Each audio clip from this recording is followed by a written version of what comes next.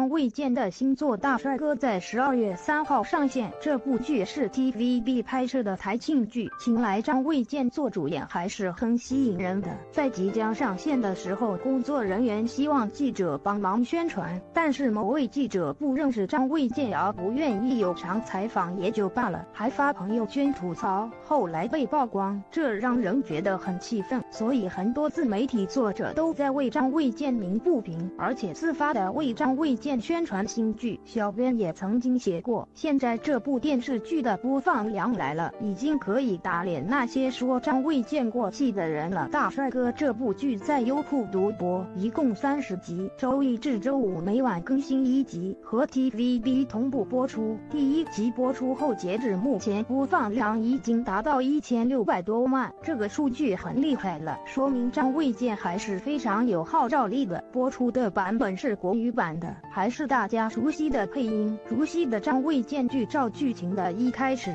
张卫健饰演的不羁一身大帅的装扮出场，一出场就是很长的台词，对了当地的土豪劣绅，一脸张狂的模样。但是事实并不是如此，剧照迪基和他的兄弟们只是大帅的小兵。张卫健饰演的迪基在战场上弹尽粮绝的时候，发现了一只蟑螂，然后和弟兄们分着吃，所以大家都活了下来，来发誓有福同享有难同当。他扮作大帅是为了抓到刺杀大帅的刺客，他们不过是大帅的替死鬼而已。TVB 很擅长拍摄小人物的成长史，而且台词也很励志，随便一句台词都可以做心灵鸡汤。比如张卫健安慰他弟兄们时候说的：“这一秒不放弃，下一秒就会有希望。”剧照张卫健在第一集中除了贡献了大段大段台词以外，还贡献了 TVB 经典台词。那做人不要那么肉麻，除了台词，剧情也是可以的。张卫健饰演的不羁被当作大帅而刺杀，张卫健抓到刺客，却选择放了刺杀他的人，结果惹怒了真的大帅，把他和他的兄弟关进牢房。他们几个月狱逃跑后，不甘心又逃到大帅府偷值钱的东西，结果被大帅发现，命悬一刻，该怎么样救自己和兄弟们？还要继续追剧了。剧照大帅哥每晚只更新。一集对于咱们来说确实有点少了。TVB 的剧每天更新一集两集再正常不过了，大家也可以等剧集更新多了去追这部剧。要说张卫健的流量跟那些什么小鲜肉不能比，但是要比实力的话，他们就输了。他们业务能力并不强，没有热搜不炒绯闻，没有热度就成为胡咖。他们就好比是天空中的流星，一划而过，耀眼一时。而像张卫健这。这样的老牌演技派就好比恒星，永远是夜空中的让人难忘的景致。张卫健是大家很熟悉的演员，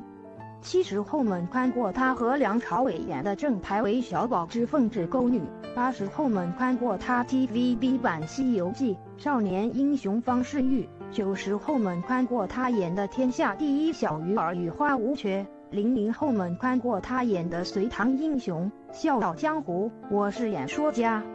出道三四年，张卫健以高产四母猪的勤劳精神和奋不顾身的敬业精神，演出五十余部电视剧、三十余部电影的辉煌成绩和庞大的粉丝量，获得了香港电视专业人员协会荣誉副主席的荣誉称号。张卫健这么多部电影电视剧，堪称部部经典，但是剧中的张卫健大多形象比较单一。顶着光头，油嘴滑舌又絮絮叨叨，每一个角色都有一个类似贯口的东西，比如我是如来佛祖、玉皇大帝、观音菩萨指定取西经特派使者、花果山水帘洞湄猴王、齐天大圣孙悟空、阿帅刀掉渣，凉风有信，秋月无边，亏我私交的情绪好比度日如年。虽然我不是玉树临风、潇洒倜傥。但我有广阔的胸襟，加强劲的臂弯，等等。如果你看过《西游记》和《鹿鼎记》的话，必定对这两句台词印象深刻。张卫健这样城市化的表演，决定了张卫健可以快速、高效率地完成各种电视剧的拍摄，保持高产和高质量，还有助于塑造角色。但是弊端就是无法让观众更深入的看到张卫健的角色深度，换句话说就是看不到演技。但是由一部电视剧却被大众严重低估。这部剧中张卫健一人分饰两个角，剧中来回转换无缝衔接，堪称完美，更是有着多个老戏骨搭台陪演，堪称张卫健演技最好的一部电视剧。但是可惜的是，这部剧播出后反响平平，并没有得到想要的结果。张卫健这部剧就是由娱乐圈劳模刘德华投资出品，张卫健、袁咏仪、郑国霖、胡静、张倩等人联袂出演的一代神剧《方六神探》。张卫健和袁咏仪《方六神探》讲的是发生在一个叫方家村的地方发生的一系列惊悚、离奇又搞笑的事件。土匪出身的方十三娘因老公去世而不得不负起重担，凭着聪明头脑把家业逐渐变得兴旺。唯一美中不足的是他的儿子方天佑，张卫健饰演是一个智商不高的傻子。虽然天佑孝顺又单纯，但是老被人戏弄也不是办法。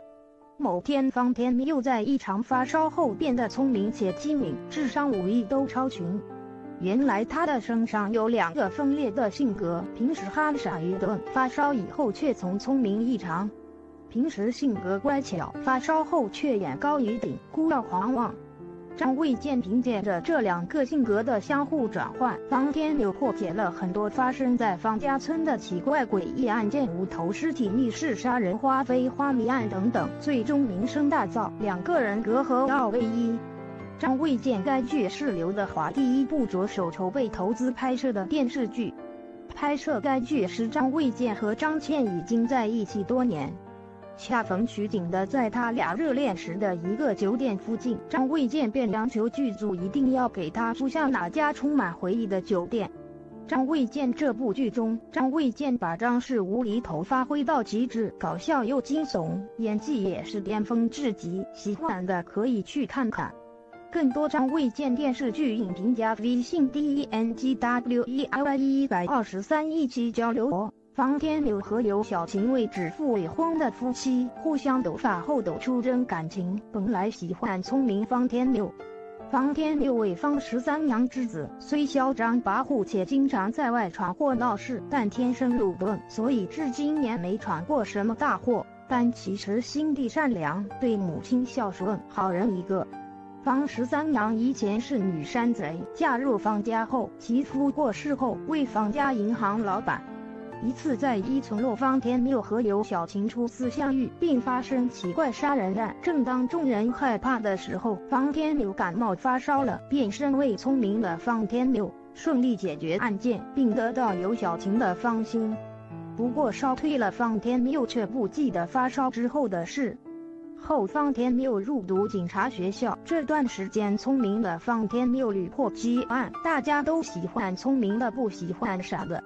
后来也遇上了宿敌花非花，聪明的方天佑决定和他斗法，傻的方天佑觉得大家都不喜欢自己，就把自己封印起来，以后只剩聪明的方天佑。不过，聪明的方天佑心狠手辣，大家渐渐开始害怕并怀念起傻的方天佑。一次与花非花斗法，聪明的方天佑败光家产，傻的方天佑重出江湖。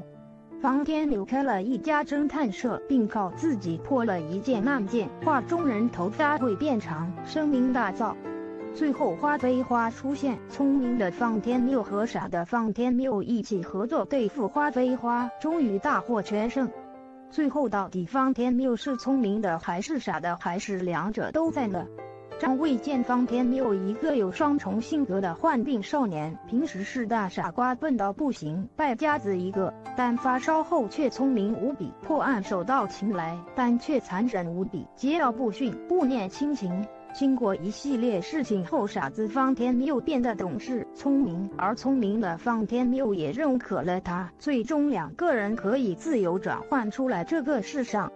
很多人都说这部剧很好的体现了张卫健的演技，却是傻的放天佑一如张卫健之前的角色，贵马古灵精怪、搞笑可爱，但被人欺负也有不少苦情戏。但单一转眼间，张卫健又能演出一个聪明绝顶、自信爆棚、帅气无比的型男。第一次看张卫健耍帅，感觉惊艳到我了，特别是和胡静的对手戏，一个妖娆，一个酷毙了，很不错。袁咏仪有小晴前期很讨厌傻的方天佑，后来爱上了聪明的那个，嫁入方家，最终也接受了傻的缪缪。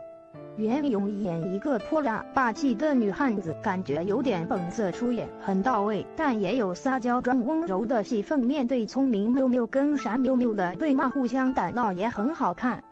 胡静司徒多情敌人派来接近缪缪的卧底，暗中搞破坏，但最终爱上了聪明的缪缪，嫁入方家。胡静一改张三丰离清纯善良的形象，在这剧中演一个妖娆妩媚、性感的女子，敢爱敢恨，蒙着面纱很吸引人。可惜戏份有点少，是后期才出来的，我苦等了约二十集才盼到她。吴宝林十三娘一个霸气能干的老板娘，对着紫雀千依百顺，无微不至，柔弱却能独当一面。微露，这部戏虽然场景等硬件设施有点弱，但剧情足够精彩紧凑，有空大家也回味一下吧。评评这部剧的历史地位吧，是否体现张卫健演技的一个有力证明？P.S. 送上。